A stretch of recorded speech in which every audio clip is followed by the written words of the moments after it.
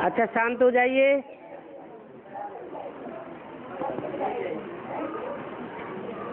झांसी की रानियों ने सारी दुनिया घेर ली।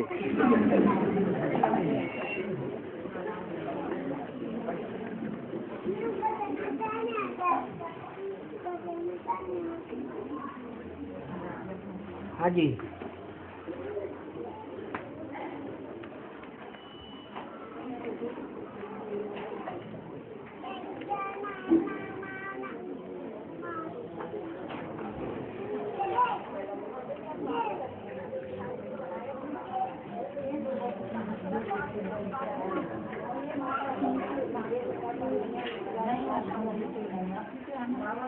हाँ जी।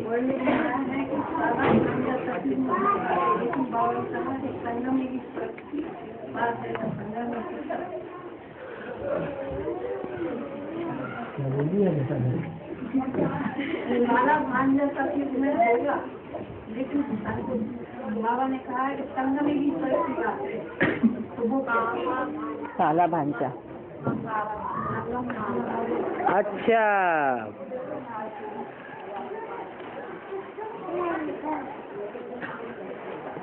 सत्युग में ढेर सारे संबंध नहीं होंगे। सत्युग में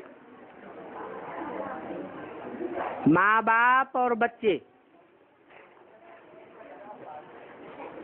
और दूसरा कोई संबंध नहीं होगा।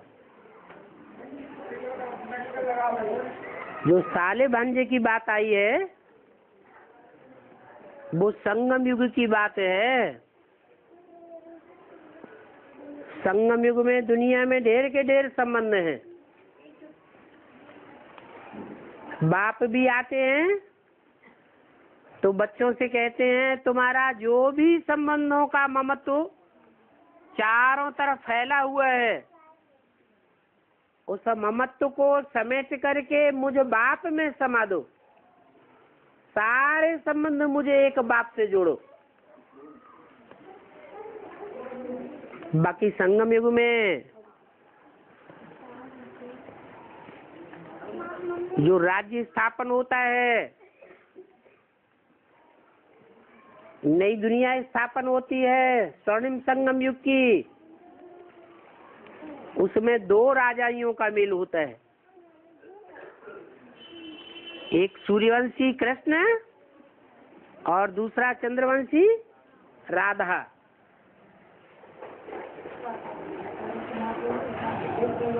तो सूर्यवंशी कृष्ण अकेला नहीं होगा। और सूर्यवंशी राधा भी अकेली नहीं होगी। उसका भाई भी होगा। तो साला हो गया कि नहीं? ये संगम युग से भक्ति मार्ग में जितने ढेर के ढेर संबंध बनते हैं, उन सात संबंधों की शूटिंग यहाँ हो जाती है। बाकी सतयुग में तो भाई बहन के रूप में बच्चे जन्म लेते हैं।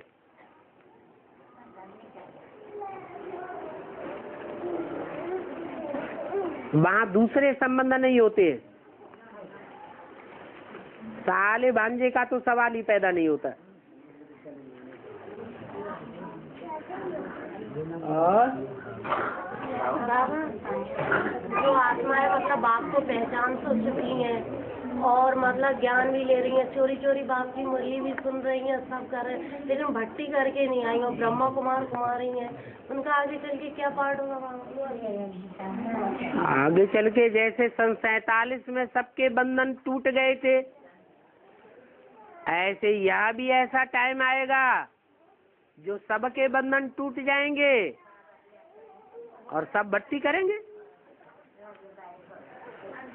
बातें न करो। हाँ जी। माता है हमारी चाची लगती है। वो कहती है कि ये इसे कहती है इसमें अपने ले लो, हम कहते हैं, हम अपने बाबा से पूछेंगे जब हम नहीं, अभी अपनी अपनी बातें न सुनाओ। यहाँ सभा में ज्ञान की बातें पूछो। हाँ। कहते हैं कि जो घर में बैठे पुरुषार्थ करें कर्मातीत अवस्था को तो पाने को हो सकता है। मुक्ति में जाए जीवन मुक्ति में ना जा सके। घर में बैठे जो पुरुषार्थ करेंगे वो जीवन मुक्ति में जाकर के प्रजा नहीं बनेंगे। बाप की प्रजा भी बनती है। बाप के वारसदार भी बनते हैं। वारसदार वो बनते हैं जो समर्पित होते हैं। सिर्फ़ ईश्वरीय सेवा के लिए। दुनियावी धंधे दोरी खत्म हो गए। जो बाप का धंधा, सो बच्चों का धंधा। और जो घर में बैठ करके पुरुषार्थ करते हैं, वो ऊंच पद भले नहीं पावेंगे, लेकिन प्रजा वर्ग में बड़े बड़े साहूकार तो बन सकते हैं। और सोलह हज़ार की लिस्ट में तो ऐसे ऐसे भी है। जो भाग जाते हैं, बाप को धोखा दे जाते हैं, धमचक्कर मचाते हैं, बाप की ग्लानी करते हैं, ऐसे दास दासी बनते हैं। उन दास दासी बनने वालों से तो अच्छा अपने घर गृहस्थ में रह करके खूब कमाई करो, ईश्वरीय यज्ञ में अर्पण करो धन अर्पण करेंगे तो बड़े बड़े साहूकार बनेंगे। ज्ञान धन अर्पण करेंगे तो भी बड़े साहूकार बनेंगे। तो क्या बिना अर्पण हुए ये सब नहीं कर सकते? चलो, ऊंच पद नहीं पावेंगे। राजघराने में जन्म नहीं लेंगे। लेकिन बड़े बड़े साहूकारों के घर में दास दासियाँ होते हैं कि नहीं? उनके बड़े बड़े महल होते हैं। राजाओं जैसे ठाट बाट होते हैं। और राज दरबार लगता है तो राजाओं के नज़दीक जाकर के बैठते हैं। ये कम बात है क्या?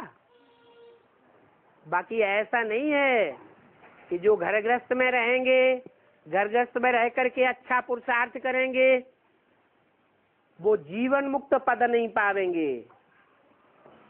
प्रजा भी जीवन मुक्त पद पाती है। ये जीवन में रहते हुए ही दुख दर्दों से मुक्त हो जाती है। यथा राजा, तथा प्रजा, ये संगम युग का ही गायन है। और युगों का इतना गायन नहीं है। संगम युग में जब बाप आकर स्वर्णिम संगम युग की स्थापना करते हैं तो वसुदैव कुटुम्बकम, सारी वसुधा बाप का परिवार है। बाप के बच्चे जैसे बाप की गोद के बच्चे हैं। इतना प्यार और कोई दे ही नहीं सकता। और राजाएँ तो अपने राजमहल में पलने वाले बच्चों से प्यार करेंगे। लेकिन बाप तो ऐसी राजा या कर देते हैं जो राजा सारी प्रजा को अपना बच्चा समझती है। और? कौरव पांडवों की लड़ाई सब मारे गए पांडवों के सब कुत्ता गया था। हाँ जी। बाबा ने बोला है इन पाँच विकारों का जो मुखिया है, वो कौन है? काम विकार। काम विकार की वजह से ही और विकार सक्रिय हो जाते हैं। इन विकारों को खत्म नहीं करना है। इनका रूप बदलना है। ऐसे नहीं। कि सतयुग में काम विकार नहीं होता है। काम माने कामना, इच्छा। तो ऐसा भी नहीं है कि सतयुग में इच्छा नहीं होती है। इच्छा तो होती है, लेकिन श्रेष्ठ इच्छा होती है। ज्ञान इंद्रियों से सुख भोगने की इच्छा होती है। ज्ञान इंद्रियों से जो सुख भोगा जाता है वो सुख किसी प्रकार का दुख की उत्पत्ति नहीं करता। वो भी कामना है। बिना कामना के सृष्टि की पैदाइश नहीं हो सकती है। इसलिए सतयुग के पहले जन्म से लेकर के चौरासीवें जन्म तक कामना का रूप विकराल होता जाता है। सतयुग में दृष्टि मात्र की कामना होती है। इसलिए देवताओं के नयन बड़े बड़े शोभनीक आकर्षक दिखाए जाते हैं। वो नेत्रों से ही सारा सुख भोगते हैं और नेत्रों के प्यार से ही बच्चों की पैदाइश होती है।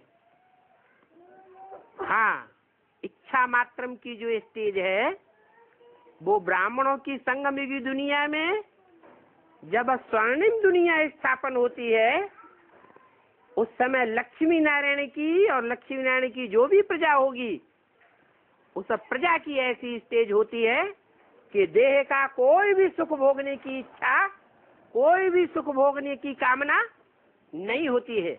इसीलिए लक्ष्मी नारायण के चित्र को ध्यान से देखें। लक्ष्मी नारायण और नीचे राधा कृष्ण उनके बच्चे जो सतयुग में जन्म लेंगे, वो खड़े हुए हैं। दोनों में क्या अंतर दिखाई पड़ता है? राधा कृष्ण एक दूसरे को देख रहे हैं। उनका अभिविचारी प्यार है दृष्टि का, नैनों का, और लक्ष्मी नारायण एक दूसरे को देख भी नहीं रहे हैं। दृष्टि मात्र से कोई भी सुख भोगने की इच्छा नहीं। क्योंकि दृष्टि जो नयन है, वो भी देह का अंग है। देह का कोई सुख लेने की इच्छा नहीं है। इच्छा मात्रम अविद्या की स्टेज में टिके हुए हैं। तो ऐसा नहीं है कि काम विकार सतयुग में होता नहीं है। इसलिए बोला है हुई है काम अनंग। बिनु बपु व्याप सबको। बिना शरीर के सबको व्याप्त तो होगा। वो संगम युग की स्टेज दिखाई गई है कि शरीर भल नहीं है, लेकिन वाइब्रेशन में एक दूसरे के प्रति प्यार समाया हुआ है। जो लक्ष्मी नारायण का प्यार है वो वाइब्रेशन का प्यार है। देह का प्यार नहीं है। तो कामना अर्थात काम विकार है या नहीं है? है, है। माने जब स्वर्ग में जावेंगे स्थिति में ग ग माने गए। स्वर्ग अर्थ क्या हुआ? स्व ग। स्थिति में जो गया वो जैसे स्वर्ग में गया। तो ऐसे स्वर्ग में जाने की स्टेज वालों को वो काम रूपी कुत्ता सात्विक स्टेज में साथ जाएगा। ऐसे नहीं साथ में नहीं जाएगा। इसलिए शास्त्रों में दिखाया हुआ है कि पांडव जब स्वर्गारोहण किया तो कुत्ता भी साथ में गया। और अपने को जो हिंदू धर्म भूल के हिंदू धर्म बोलने लगते आदि सनातन देवी देवता धर्म बोल रहे जब भूल बेहद की कैसे इसका बेहद में अर्थ ये है, बेहद तो ब्राह्मणों की दुनिया में है ना? ब्राह्मणों की दुनिया में जो आदि सनातन देवी देवता धर्म का फाउंडेशन डालने वाले सूर्यवंशी नहीं है। है कि नहीं ऐसे? ब्राह्मणों की दुनिया में नौ कुरी के ब्राह्मण हैं। सब सूर्यवंशी हैं क्या? सब तो सूर्यवंशी नहीं है। तो जो सूर्यवंशी असल में नहीं है, वो कहते हैं, हम हिंसा को दूर करने वाले हैं। हिंसा है काम विकार की। वो बीके वाले उनमें मुख्य हैं। क्या? जो चंद्रमा, ज्ञान चंद्रमा की गोद में पले हैं चंद्रवंशी इस्लामी बौद्धी क्रिश्चियन वो सारे ही चंद्रमा की गोद में पले हुए कुख वंशावली ब्राह्मण, वो कहते हम हिंसा को दूर करने वाले हैं। और ये सूर्यवंशी जो है ना, वो हिंसा को बढ़ाने वाले हैं। कौन सी हिंसा? कौन सी हिंसा? अरे बाबा ने कौन सी हिंसा बताई खास? काम विकारी की हिंसा। तो हम हिंसा को दूर करने वाले माने हिंदू। असली हिंदू हम हैं। जो हिंसा को दूर करे, सो हिंदू। और जो हिंसा को बढ़ाए, वो हिंदू नहीं। तो सूर्यवंशी क्या हो गए? तो बंदर संप्रदाय है ना सब। बंदरों में तो विकार जास्ती होते हैं। इसलिए ये सब बंदर हैं। ये विकारों को बढ़ाने वाले हैं। और सच्चे हिंदू तो हम हैं। ये बेहद का अर्थ है। यहाँ फाउंडेशन पड़ता है, फिर वहाँ भक्ति मार्ग में। विराट रूप में चलती है बात। और? हाँ। ब्रह्मा बाबा ने दादा राज को दे दिया था अपने भागीदार को ब्रह्मा बाबा ने दादा लेखराज को दे दिया था? मतलब थी मतलब हाँ हाँ। तो वो तो मतलब वहाँ समय पर हो गए थे। हाँ? वो तो उधर निकल गए थे। कौन? दादा लेख राज हाँ। और इधर जो है तो ये जब भागीदार जो है ये भी आकर के अगर तो दुकान को फिर मालिक कौन बना दुकान दुकान बेची नहीं जा सकती है? दुकान का जो माल मटा है, हीरे जवाहरात है वो दूसरों को नहीं बेचे जा सकते। जिन्होंने दादा लेखराज की दुकान खरीदी, वो आज भी हर शहर में बैठे हुए हैं। दुकान पे लिखते हैं, लेखराज की पुरानी दुकान। कोई भी शहर में चले जाओ। हर शहर में दो चार दुकानों पे लिखा होगा, दादा लेखराज की, हीरे जवाहरातों की पुरानी दुकान। तो किसी ने खरीदी होगी, तभी तो ऐसा बोलते हैं। हो सकता है दो चार ने मिलकर के खरीदी हो। हाँ। बाबा की आत्मा काहे नहीं निकालती है? हैं? की आत्मा काहे नहीं निकालती की आत्मा क्यों नहीं निकलती हमारे बोल रहे हैं करवी? हाँ करवी गाँव पड़ता है। हाँ। वहाँ की आत्मा क्यों नहीं निकलती? अच्छा। है? भगवान का को, कोई कहते हैं कि बांदा में चित्रकूट है।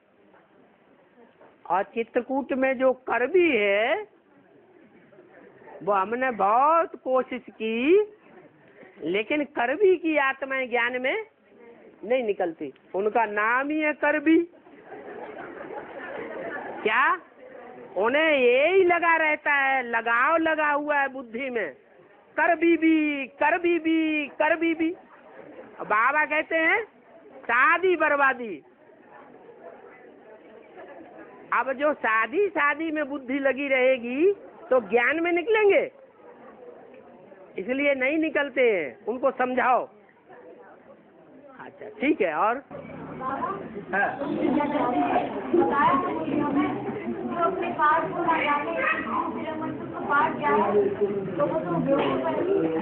हाँ मुरली में तो ऐसे ही बोला, जो ड्रामा करने जाए ड्रामा में पार्टधारी तो बने, लेकिन अपने पार्ट को ही भूल जाए। वहाँ जाकर के रंगमंच पर खड़ा हो जाए। अपने पार्ट को भूल गया तो क्या कहेंगे सब देखने वाले? है कि हाँ ये अनाड़ी को खड़ा कर दिया, भगा यहाँ से। तालियाँ पीट देंगे। तो बाबा भी यही कहते हैं।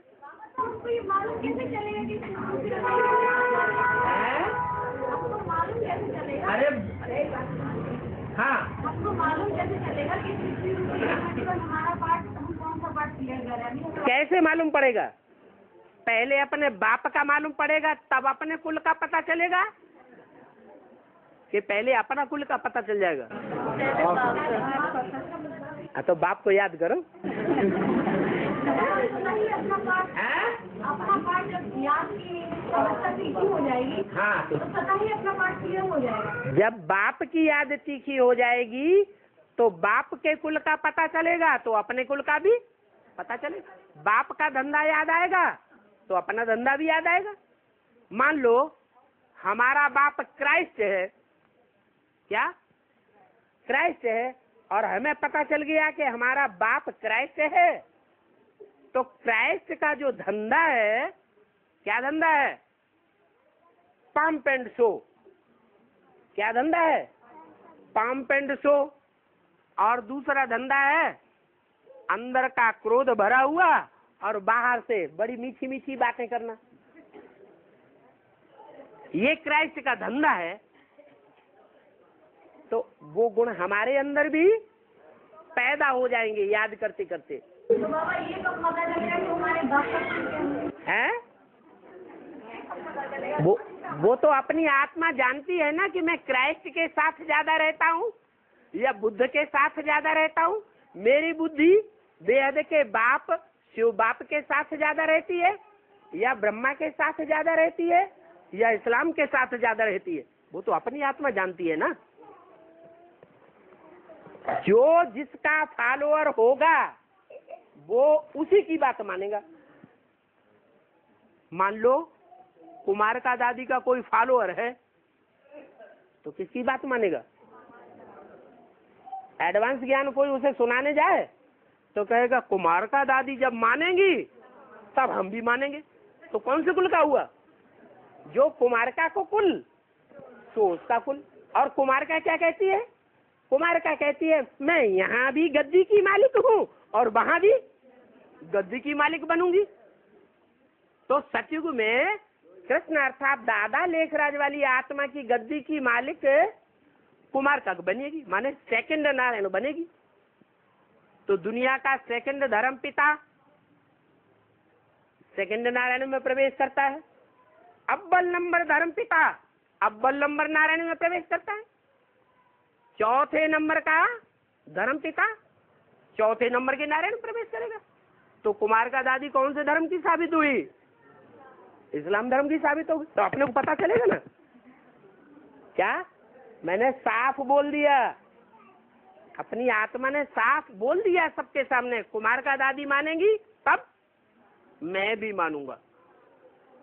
तो जो जिस धर्म का होगा, वो उसी की बात मानेगा। दूसरी की बात, भगवान भी उतर आए, ब्रह्मा भी उतर आए तो भी मानने वाला तो आत्मा को पता चलेगा ना। नहीं पता चलेगा? पता चल जाएगा मैं किस धर्म की हूँ। हाँ। एक एक मिनट, है? बारह भाषाएँ राशियाँ बारह होती हैं हाँ।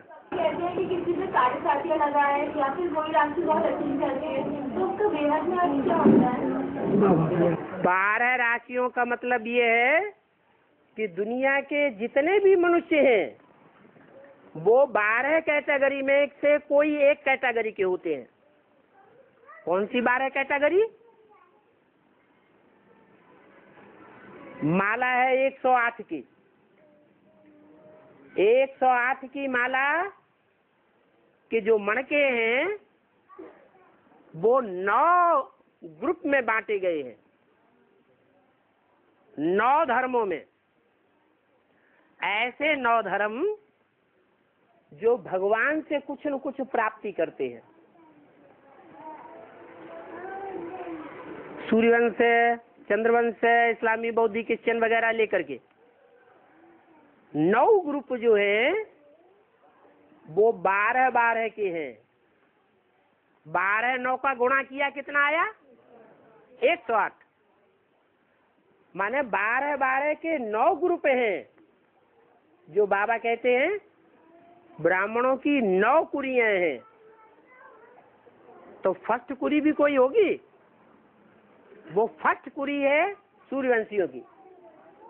उस सूर्यवंशियों की फ़र्स्ट कुरी में भी बारह पहले मणके वो पहले जो बारह मणके सूर्यवंशी हैं सारी दुनिया उन्हीं की औलाद है। क्या? किसकी औलाद है? उन बारह की औलाद है। इसलिए सारी दुनिया की हर मनुष्य आत्मा को उन बारह में से कोई न कोई एक राशि का माना जाता है। अब रही साढ़ साथी की बात।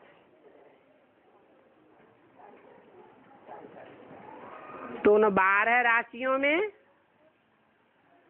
एक ऐसा भी है जो शनि देव कहा जाता है। शनि देव तो नहीं है, लेकिन उसका बीज है सूर्यवंशियों में। उस शनि देव का भी बाप कौन है? सूर्य। सूर्य जो है, वो शनि देव का भी बाप है। लेकिन उन बाप बेटे में हमेशा झगड़ा रहता है। जो सूर्य है, उसकी राशि देवताओं के गुरु बृहस्पति से मिलाई जाती है। तो कहते हैं बृहस्पति की दशा। अच्छे से अच्छी दशा। परंतु अगर उसमें शनि की साढ़ साती लग गई तो खतरा पैदा हो जाता है। मतलब क्या हुआ?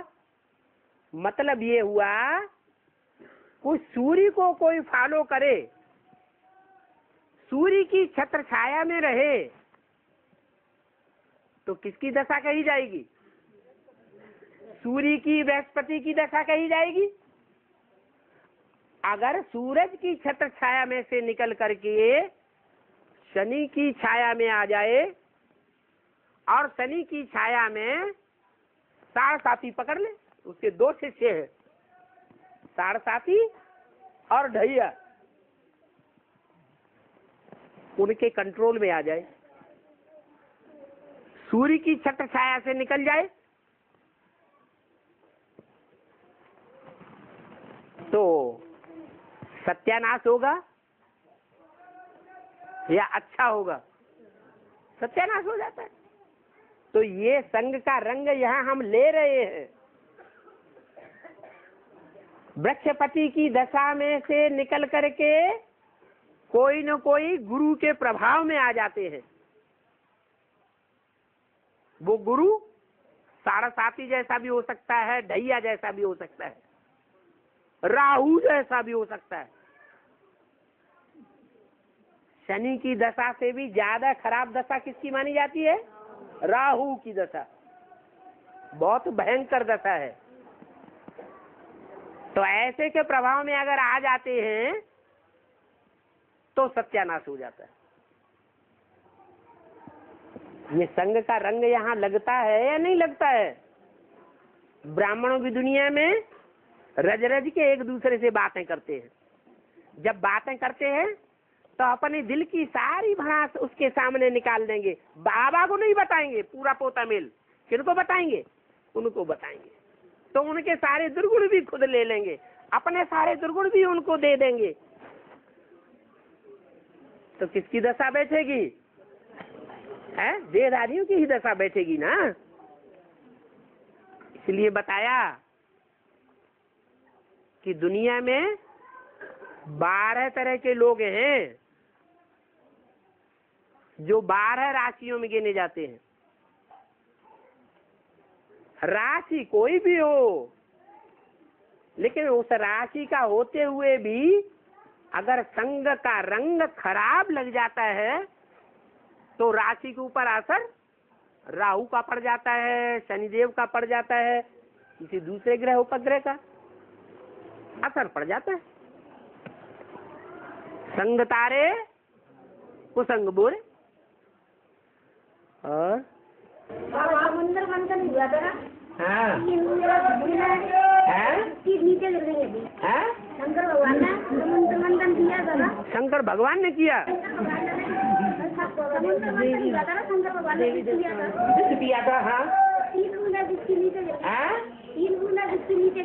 हाँ। तो पाताल बन गया? वो पातालवासी जो राक्षस हैं, वो विषैले होते हैं, विविचारी होते हैं। हाँ।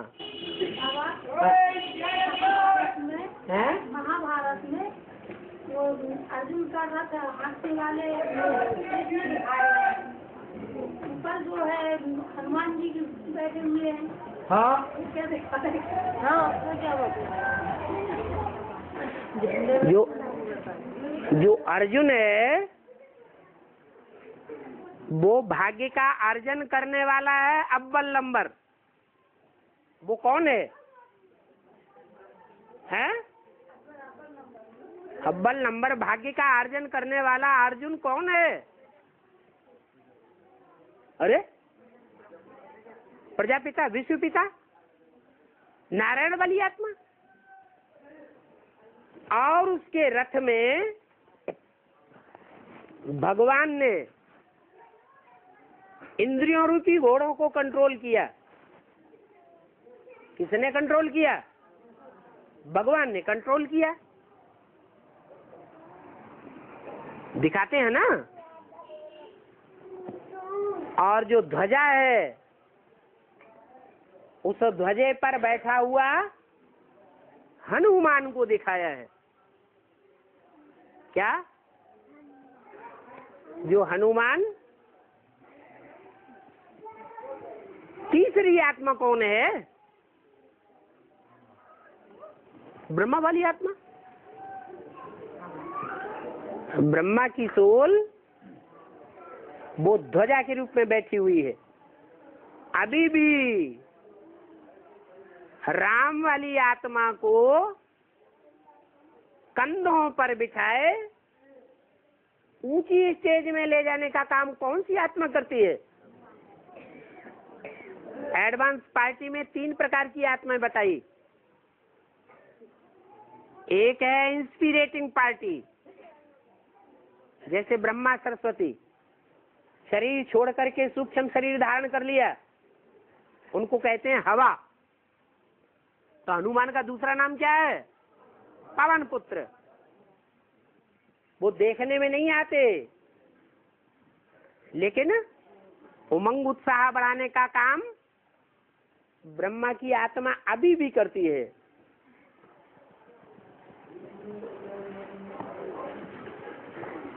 कहते हैं, लक्ष्मण को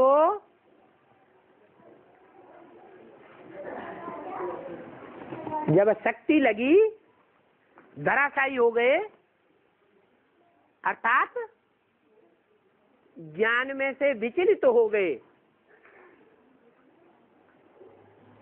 तो संजीवनी बूटी कौन लाया? हनुमान लाया। ये संजीवनी बूटी क्या है? ये ज्ञानामृत की संजीवनी बूटी है, जो ऊँचे पहाड़ से, माने ऊँची स्टेज से लाई जाती है।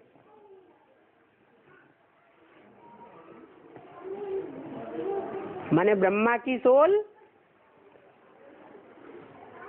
भाग्य का अर्जन करने वाले अर्जुन के शरीर रूपी रथ में ध्वजा के ऊपर विराजमान है। इसलिए शंकर के चित्र में चंद्रमा को ऊपर दिखाते हैं या पाँव में दिखाते हैं? ध्वजा में दिखाते हैं। उसे रथ कह दो उसे शंकर का शरीर कह दो उसको चंद्रमा की ध्वजा कह दो उसको हनुमान का स्वरूप कह दो। और? रामायण राम के भाई थे तो रावण को क्यों मनवा दिया?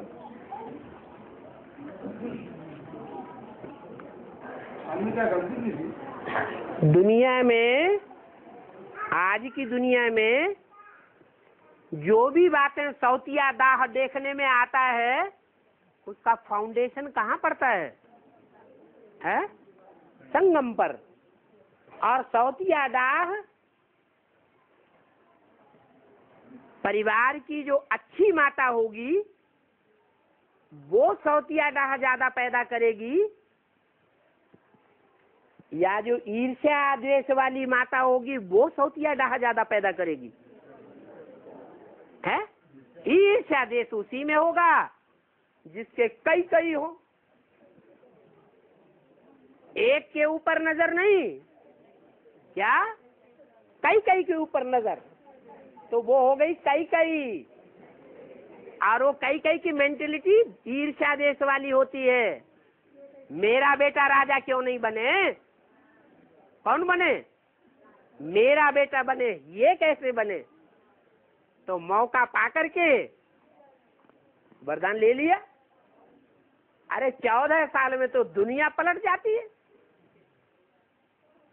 महाभारत में भी क्या हुआ? बारह तेरह साल मांगे, जाओ वनवास में।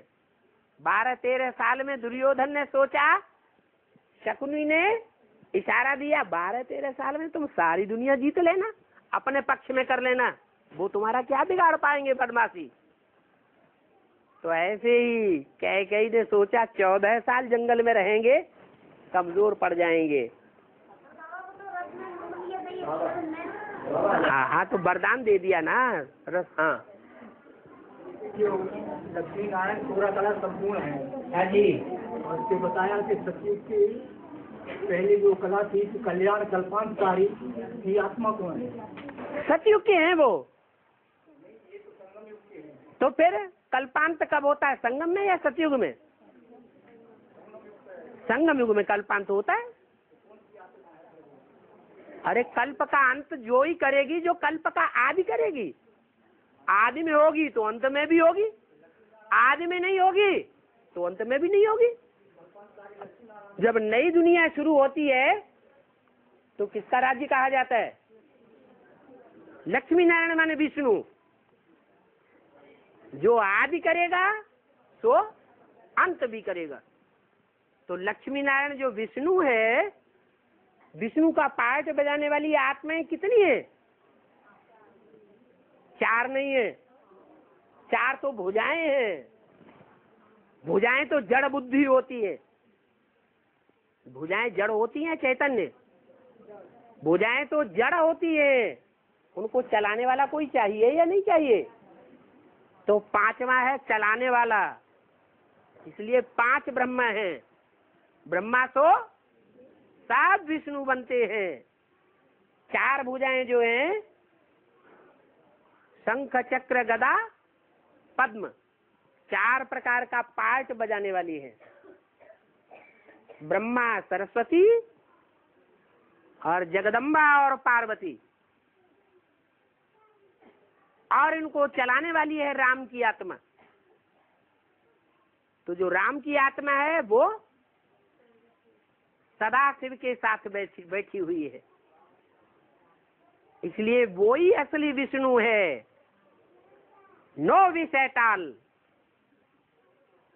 इसलिए शिव को कहा जाता है, एवर प्योर। परम धाम की यादगार है या इस दुनिया की यादगार है, एवर प्योर? है? इस दुनिया में रह करके कोई कर्म किया है? अपवित्र होने वाली इंद्रिय के द्वारा। ऐसी उपराम स्टेज का पार्ट बजाया है कि वो अपवित्र होने वाली इंद्रिय परम पवित्र के रूप में पूजी जाती है। किस रूप में पूजी जाती है?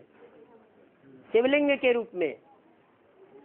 इसलिए बाबा कहते हैं, मेरे एक लिंग रूप की ही पूजा होती है। पूजा का आधार है प्योरिटी। और देवताओं के और और अंग पूजे जाते हैं। किसी देवता का लिंग नहीं पूजा जाता और मेरा मेरा लिंग पूजा जाता है। तो क्या वो लिंग रूप है? लिंग तो बड़ा होता है। वो इतना बड़ा है? नहीं, इतने बड़े में प्रवेश करता है। जिसमें प्रवेश करता है, उसके द्वारा काम जीत का पार्ट बजाता है। एवर प्योरिटी का पार्ट बजाता है।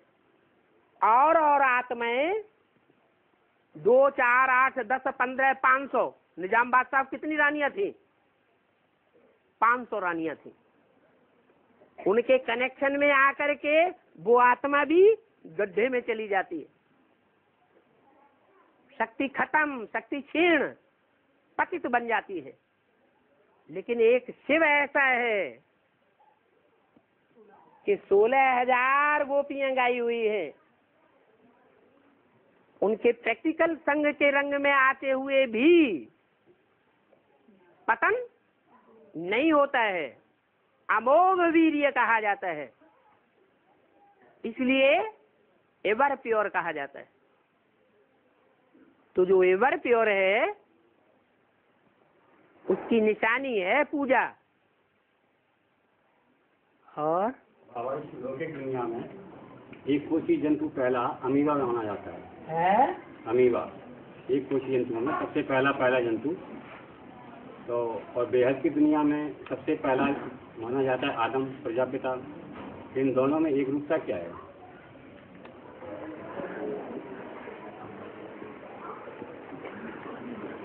मनुष्यों की मान्यता में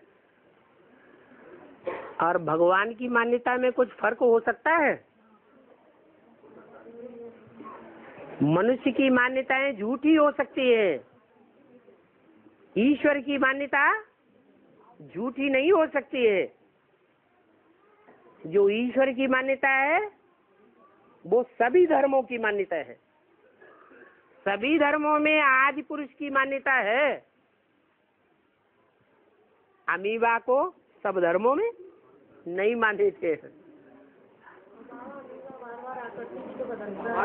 है? कहते हैं कि एक आत्मा एक जन्म में स्त्री एक जन्म में पुरुष बनती है। कोई कोई आत्मा एक जन्म में दो जन्म स्त्री दो जन्म पुरुष की बनती है। ये? लेकिन मम्मा के बाबा तीन जन्म स्त्री के में सामने आते हैं। ये तुमने कैसे जान लिया? किसने कहा तुमको? मुरलियों में कौन सी वाणी में आया कि मम्मा की आत्मा तीन जन्म लगातार स्त्री के लेती है? वो मुरली अगली बार लाना। पैंतालीस चालीस में शरीर छूटा है? पैंतालीस चालीस में शरीर छोड़ा। पैतालीस चालीस में सही छोड़ा? हाँ चालीस सैतालीस जब पाकिस्तान बना तब तुम्हारा जन्म भी हुआ ना। तो छियालीस सैतालीस की बात है जब छोटी माँ ने और बड़ी माँ ने शरीर छोड़ा। हाँ आया हुआ है कि वो बच्चे छब्बीस कोई पच्चीस छब्बीस का कोई बीस बाईस के हुए अरे जिन बच्चों के लिए बीस और पच्चीस वर्ष बोला है वो लक्ष्मी नारायण वाली आत्माएँ हैं। बड़ी मम्मा नहीं है। ठीक है बाबा लेकिन है। ग्यारह साल तो नहीं है सोलह साल उम्र है।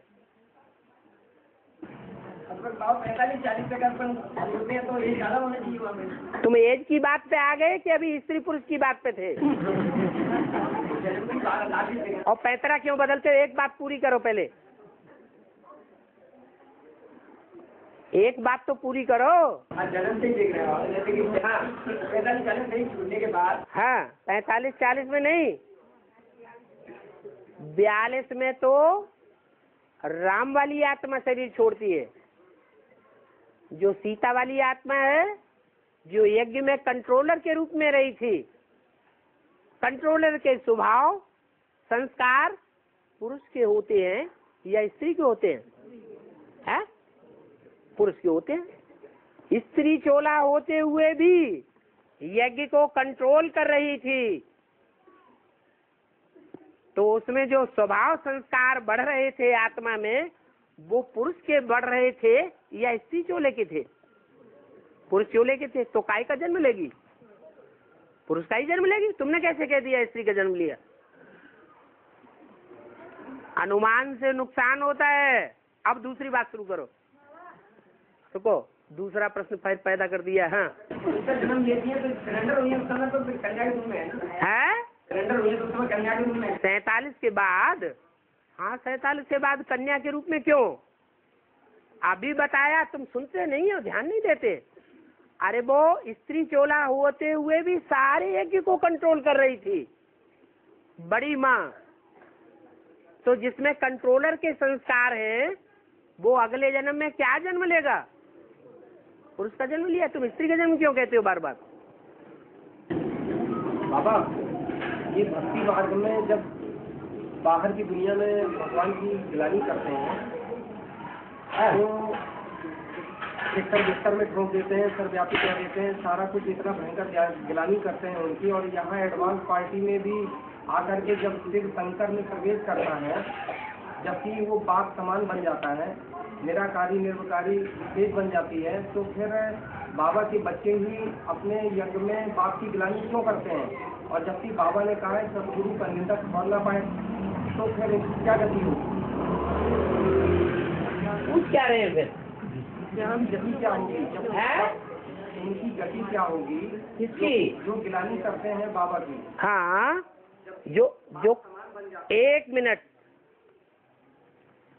काले कृष्ण की ग्लानी होती है या जो श्याम कृष्ण है, काला कृष्ण है, वो गोरा बन जाता है, तब उसकी ग्लानी होती है। काले कृष्ण की गलगानी होती है। तो संगम युग में, संगम युगी कृष्ण जब तक काला है, कौन है? राम वाली आत्मा। राम वाली आत्मा ने जब तक ब्रह्मा के ऊपर कंट्रोल नहीं किया है। बैल के ऊपर सवारी नहीं की है। तब तक वो काला ही काला है। क्यों? क्योंकि बैल कहो, ब्रह्मा कहो, चंद्रमा कहो, वो आत्मा उसके ऊपर सवार है। अधूरी आत्मा सवार है। भूत प्रेत सवार है। संपन्न आत्मा जो शिव है, उसके सवार होने के बावजूद भी बीच में वो आत्मा इंटरफियर करके बोलती है। कौन? ब्रह्मा की सोल। इसलिए उसको सदगुरु का सौ परसेंट पक्का रूप नहीं कहेंगे अभी। सदगुरु का पार्ट अभी शुरू नहीं हुआ है। हुआ है? सदगुरु का पार्ट लास्ट का है या मध्य और आदि का है? लास्ट का है। हाँ। सात बजे से आठ आठ बजे तक याद रहती है शाम के? है? शाम के सात बजे से आठ बजे तक याद रहती है याद पढ़ने का समय रहता है सात बजे शाम से आठ बजे। कहाँ गीता पाठशाला की बात कर रहे हैं? कहाँ की बात कर रहे हैं? जी से पाठ करें हाँ। तो फिर उसके बाद कहते थे रात के अगर नौ दस बज जाए तो बाबा को याद नहीं किया जाता। और जैसे याद याद आती है नहीं आ रही है कुछ। जैसे घंटे याद करना है तो क्या नहीं कर सकते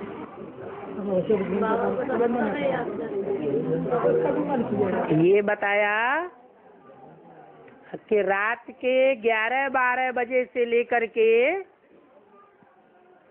और रात के एक दो बजे तक सारी दुनिया के मनुष्य मात्र ज़्यादा से ज़्यादा परसेंटेज में विकार भोगते हैं। तो दुनिया का वायुमंडल खराब होता है।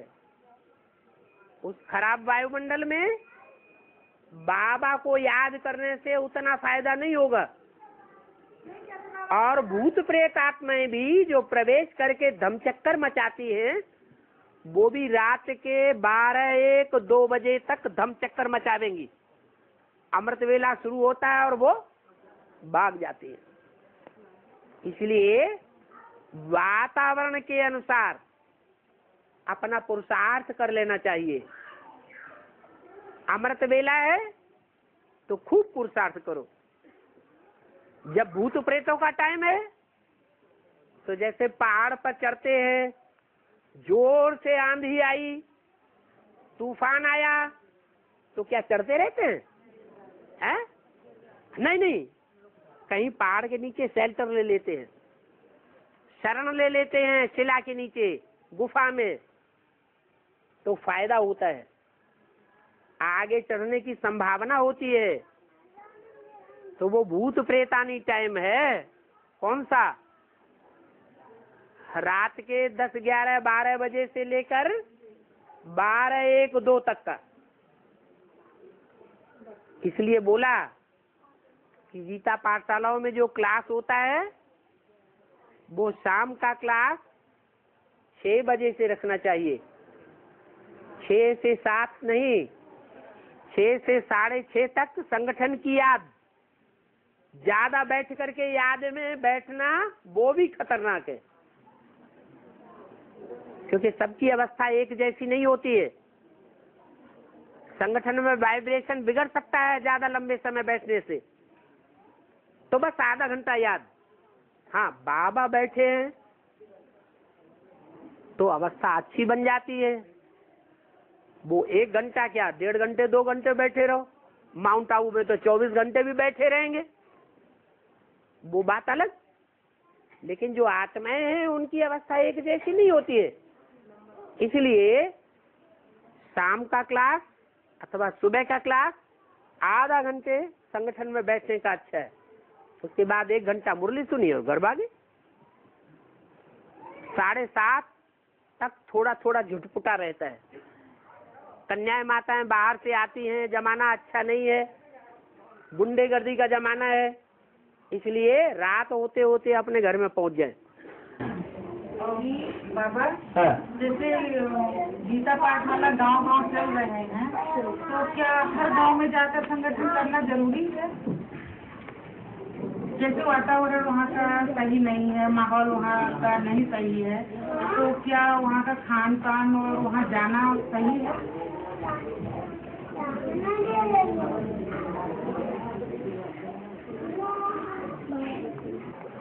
कन्याओं माताओं को ज़्यादा भटकाना ठीक नहीं है। दूर दूर गाँवों में गीता पाठशालाएँ हैं। और कन्याएँ माताएँ वहाँ भटकेंगी तो माया को मौका देने का हम चांस दे रहे हैं कि नहीं दे रहे हैं? इसलिए शहरों में तो ठीक है बड़े बड़े कस्बे हैं, उनमें जो गीता पाठशालाएँ हैं, उन गीता पाठशालाओं में, कभी एक गीता पाठशाला में, कभी दूसरी गीता पाठशाला में संगठन के प्रोग्राम रख दिए जाएँ तो चलेगा। नज़दीक नज़दीक के गांवड़े हैं, उनमें भी चल सकता है। लेकिन जो दूर दूर के गांवड़े हैं वहाँ भाई लोग जाएँ संगठन करें। कन्याओं माताओं को भटकाने की ज़रूरत नहीं है। परेशानियाँ आती हैं कोई नहीं है। लगता है जैसे हेडलाइन पाठशाला खुली हुई है। और फिर चार पाठशाला खुली हुई है। तो वो लोग बोलते हैं मैं संगठन करूँ। बीस बीस किलोमीटर पंद्रह पंद्रह किलोमीटर दूर पे है। तो जाते हैं तो हफ़्ते में चार दिन पाँच दिन ये संगठन हो जाता है। लोगों का ये विचार है। हैं सारी बातें सही। सारी बातें सही। लेकिन एक बात पे ब्राह्मणों को पक्का ध्यान देना है सेफ्टी इज़ फ़र्स्ट दूर दूर गाँव में संगठन रखने से कन्या माताओं को धोखा हो सकता है। बांधेली कन्या माताओं की संख्या ज़्यादा है। जो मुखिया हैं उनकी तो वाहवाही हो जाती है कि हमारे घर में संगठन हुआ।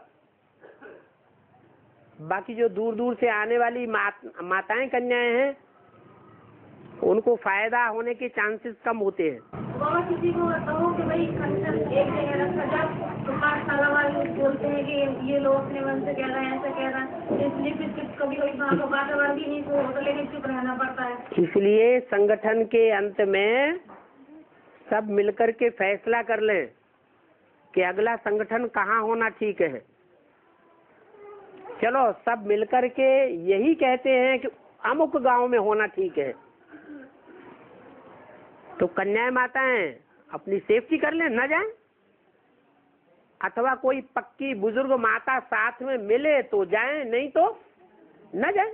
हाँ, किसी का युगल युगल नहीं चल रहे हैं। हाँ युगल नहीं चलते हैं। तो घर वाले विरोध भी तो करते हैं। हाँ जी। जहाँ देखो वहाँ तैयार रहती है। हाँ जी। बाबा एक मुरली में सुना कि मतलब प्रत्येक मूर्ति के तीस से तैतीस साल है। हैं? तीस से तैतीस साल प्रत्येक मूर्ति के कार्य करने के हैं। तो जो दूसरी मूर्ति शंकर की है उसके तीस से तैतीस साल जो खत्म हो जाएँगे हो गए तो वो फिर नारायण बन जाता है। तीस से तैतीस साल जब उसकी खत्म हो गए तो उसके नारायण की नारायण का अर्थ क्या है? और ज्ञान रूपी जल में तो नहीं बन जाता है। ज्ञान जल में उसका घर नहीं बन जाता है। दुनिया दुनियादारी के धंधे में उसका घर रहता है। पहले से नहीं है। वो तुम समझ रहे हो। अपने अंदर की बात, अपने अंदर आत्मा जानेगी कि कोई बाहर का आदमी जानेगा। है? आत्मा अपने अंदर की बात ज़्यादा जान सकती है कि मेरे अंदर क्या कमज़ोरी है क्या कमज़ोरी नहीं है। तो तीनों मूर्तियों का तैतीस साल का कार्यकाल है ज़्यादा से ज़्यादा। उन तैतीस सालों में हर मूर्ति अपनी परिपक्व स्टेज में जाकर के अपना कार्य पूरा कर लेती है।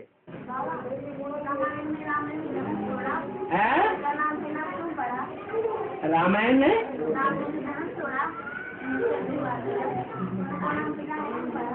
क्या पढ़ा?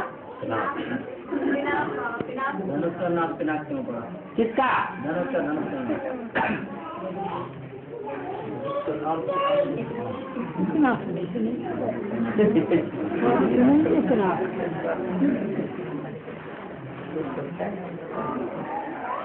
जो शरीर रूपी धनुष है ना जिससे पुरुषार्थ किया जाता है। तो ऊँची स्टेज का पुरुषार्थ होगा। तो कहेंगे, हमारी नाक रही। और नीची स्टेज का पुरुषार्थ हो जाए, जैसे कि रावण उसको हिला भी नहीं सका। तो उसकी नाक कट गई। या पिनाकिन कहा जाए? नाक कट गई। इसलिए पिनाक नाम कोई गलत नहीं रखा गया। तो बोला गया है अंत में जब किसी के पास सुनने का समय नहीं होगा तब आपका आकर्षण मूर्त चेहरा ही अनेक आत्माओं की सेवा करेगा। इसका अर्थ है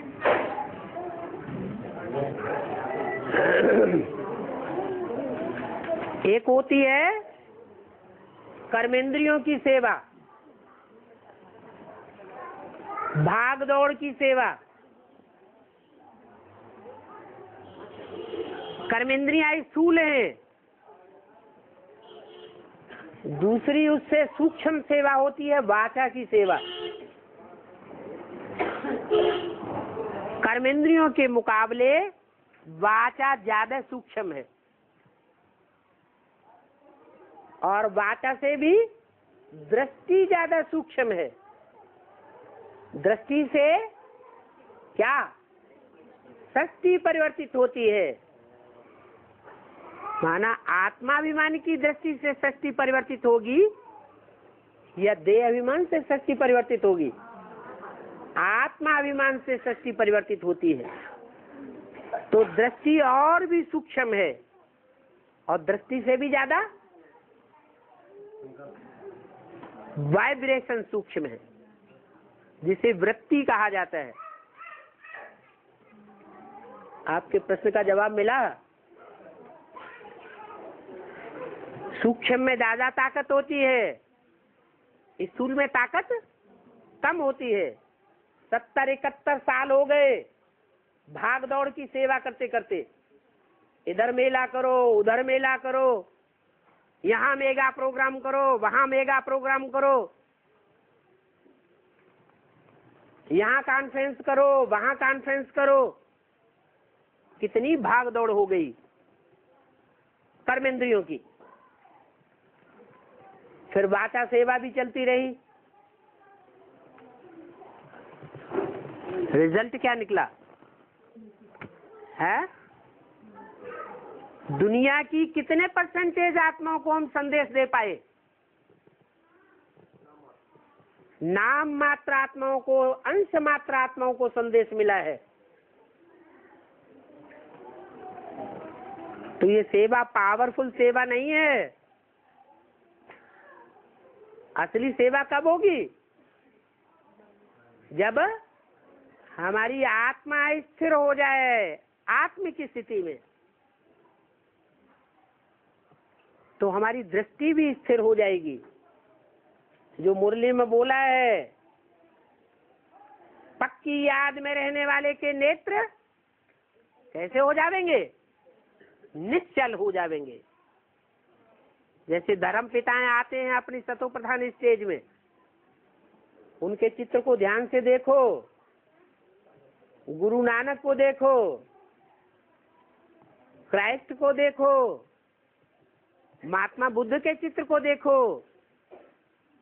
उनके नेत्र निश्चल हैं या चंचल हैं? निश्चल हैं। वो दृष्टि सृष्टि सुधारती है। लेकिन वो तो रिपेयर है, रिपेयरर। सृष्टि रूपी मकान की उन्होंने मरम्मत की है। थप थपाया है। नया नहीं बनाया। और शिव बाबा तो नया मकान आकर के बनाते हैं। तो शिव बाबा की दृष्टि तो कितनी निश्चल होगी। इतनी निश्चल दृष्टि होगी, निराकारी स्टेज होगी कि निराकारी, निर्विकारी, निरहंकारी दुनिया में ले जाएगा और जीते जी ले जाएगा। क्या? ऐसी निरंकारी निर्विकारी दुनिया में ले जाएगा जो तुम अनुभव करेंगे कि परमधाम इस सृष्टि पर उतर आया है। कोई संकल्प नहीं चलेगा। अभी चाहते हैं कि व्यर्थ के संकल्प न चले तो भी तो भी चलते हैं। फिर क्या होगा? फिर समस्या हो जाएगी कि हम चाहे हैं कि थोड़ी जो हमारे संबंधी बाहर की दुनिया में रह गए हैं, उनके बारे में थोड़ा थोड़ा याद आ जाए। लेकिन याद ही नहीं आएगा।